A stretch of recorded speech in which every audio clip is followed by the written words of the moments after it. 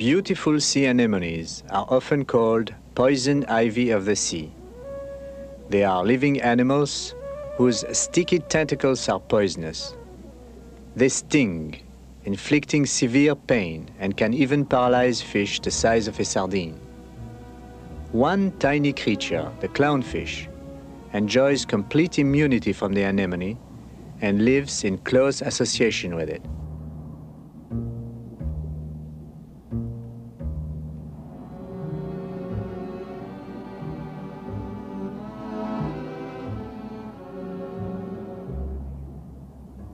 A fish coming in contact with the anemone is helplessly paralyzed and would soon be digested.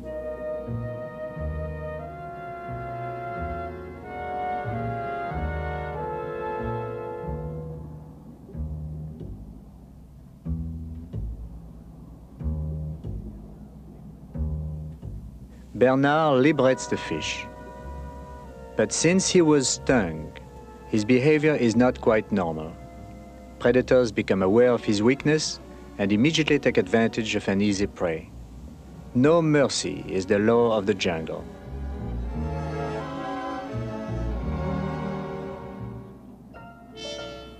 An aggressive grouper noses in. But the clownfish are safe from this intrusion for even the grouper will not risk the anemone.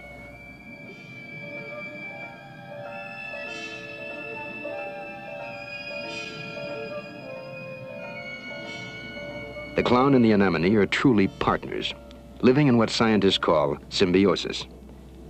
The clown darts out to food sources the anemone cannot reach. It feeds itself until its hunger is sated. But then it does fulfill its part of the symbiosis by bringing food back to the anemone.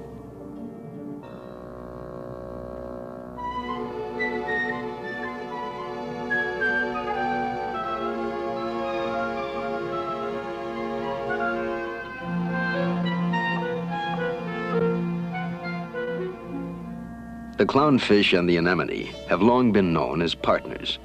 But this is the first time a clownfish has ever been filmed actually feeding the anemone